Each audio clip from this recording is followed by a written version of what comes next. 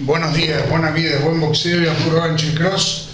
amigos de esta noble actividad. Hoy continuamos con nuestros análisis de Gancho y Cross TV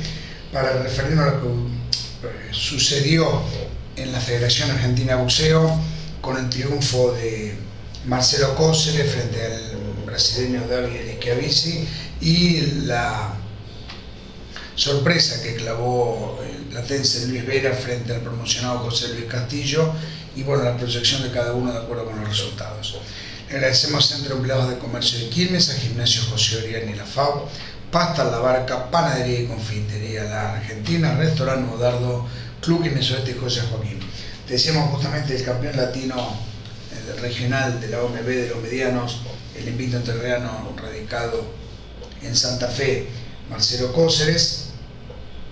venció al, este, campeón sudamericano super welter, el brasileño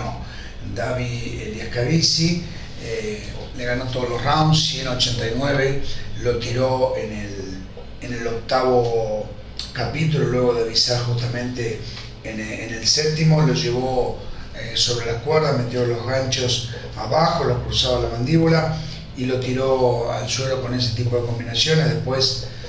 él que a sabe cómo es su estilo, de tira, revolea, trata de llegar siempre al final, tiene poder de fuego, lo había demostrado en su momento con eh, Henry Polanco, lo que pasa es que bueno, ya está un poco gastado, tiene un récord todavía positivo, 14-7-1 con 11 knockouts, pero vienen para las tres últimas, con Patrick Teixeira por puntos, cierto es que termina las peleas con Javier Maciel en el Club Pobre de Quilmes, estuvimos a ring y ahora con, con también habiendo sufrido caídas. Cayó en, los, en, las, tres últimas peleas, justamente, que, que perdió, ¿no es cierto? Y antes había perdido con Villalba eh, por punto y perdió, eh, cayó con Mahomed Kubanov en,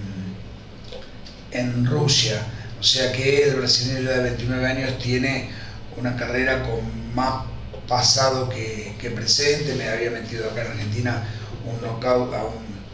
Amílcar eh, Funes Melián, ahí tomó notoriedad, luego de este, que Melián, eh, Funes Melián estaba ya en la curva descendente de su carrera, pero bueno, frente a este rival,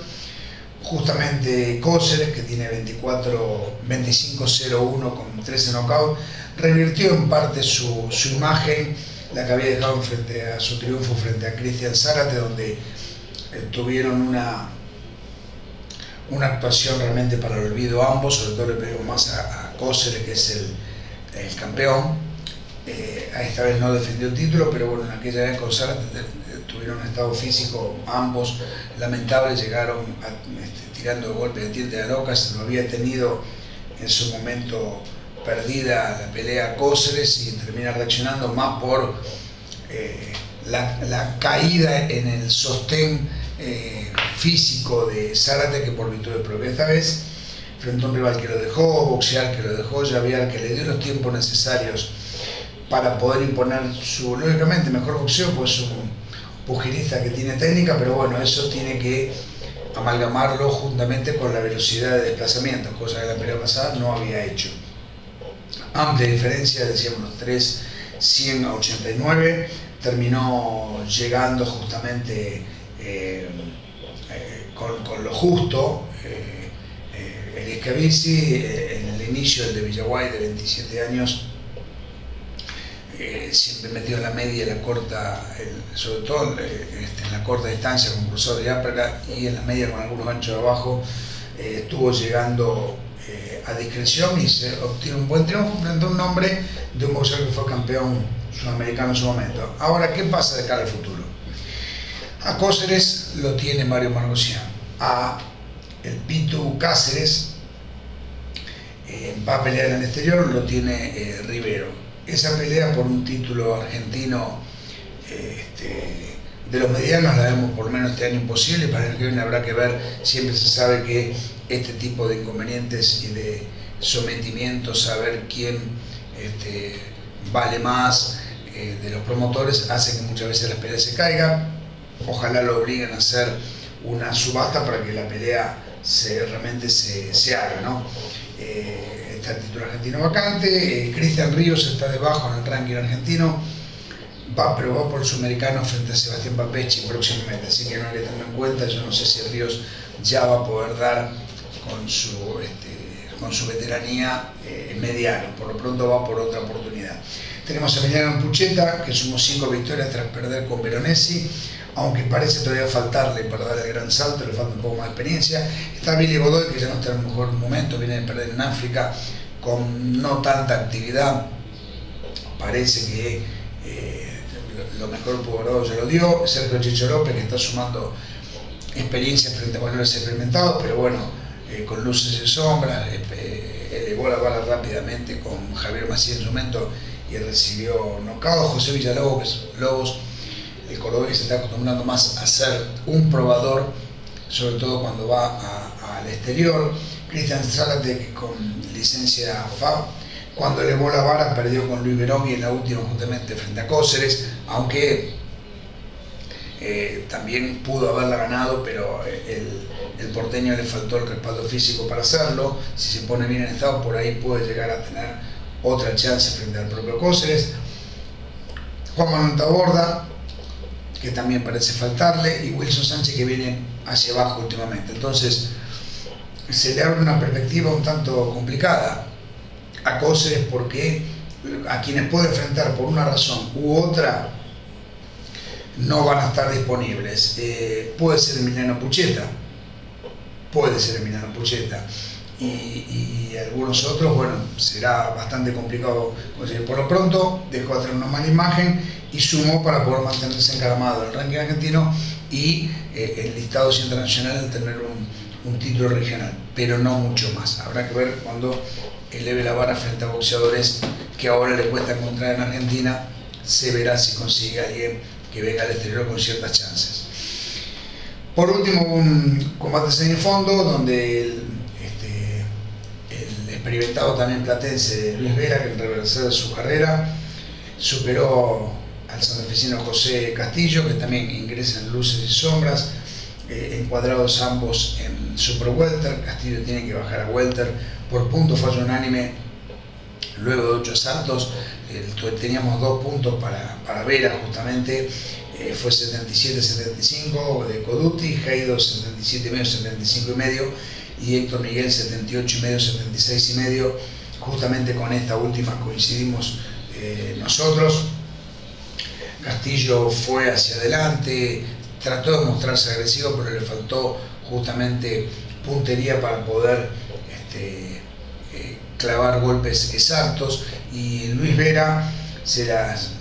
fue rebuscando para, con movimientos laterales y en retroceso